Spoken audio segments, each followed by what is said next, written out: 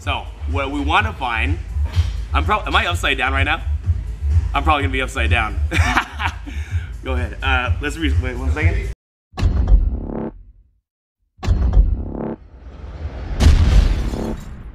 All right. All right, what's up guys? It's Alec from Bourn Active right now.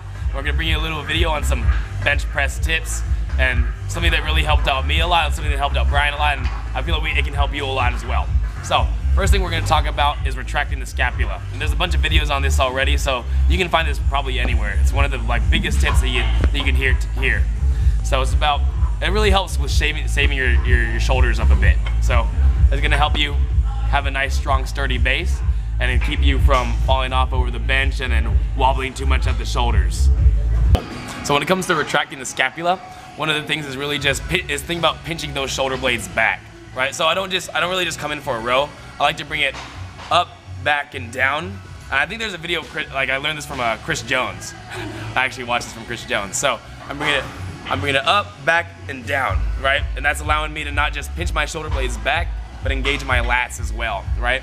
So basically think about your lats being that shelf for yourself as you bench press. You have a, have a nice wide base so you don't wobble around too much, right? So go ahead, as you take a, we'll go a rotating angle right here. So I'm gonna be up, back, and down. So we'll go ahead, take a look at the side. Right, we go again, right here, boom. And now I'm in that bench press position right here, right? As I press. And you're gonna notice it helps keep me engaging in the chest and the tries and I'm not, if I'm up here, I'm loose, I'm not gonna be keeping it just in my shoulders, right? I'm gonna take my shoulders out of it a little bit and keep it more in my, my lats, my chest. So it's a little bit more, you, it's, when you hear people say keep it tight, that's what you're talking, that's what, what we're talking about.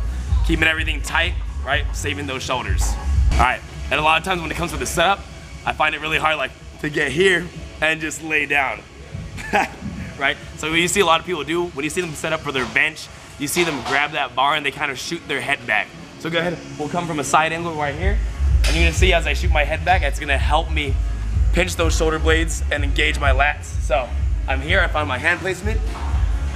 Right now I'm still kind of loose, but as I bring it back, you see, it allows me to engage my lats and keep it tight.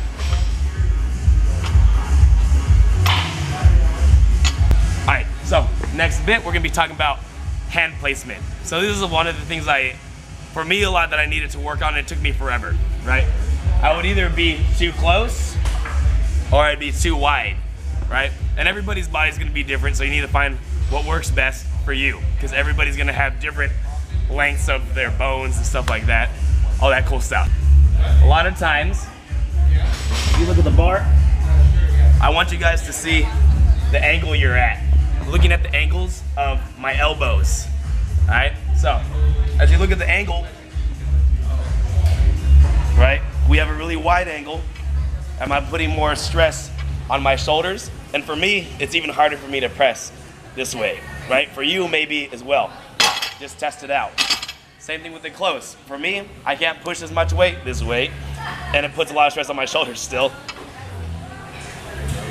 I have more range. I have more range of motion that I need to be pushing it. But what I like to find, I like to find a happy medium. Okay, so I kind of go right in the middle, and I think about, boom, tucking my elbows in. So you see, I kind of have a, a good angle in my elbows. I'm not too wide out here, and I'm not too close up in here, but I'm right in the middle. And for me, this is the strongest position. All right.